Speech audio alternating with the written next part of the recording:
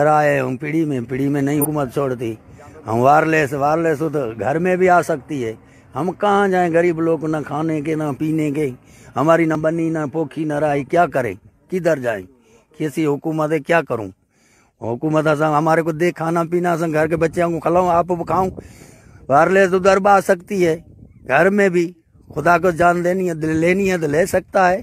क्या करें? कौन सा वायरलेस आया है हम- हमारे को तो पता ही नहीं है तो कहाँ से वायरलेस आया क्या बेच रहे हैं आप? हम छेले ले ले बेचते हैं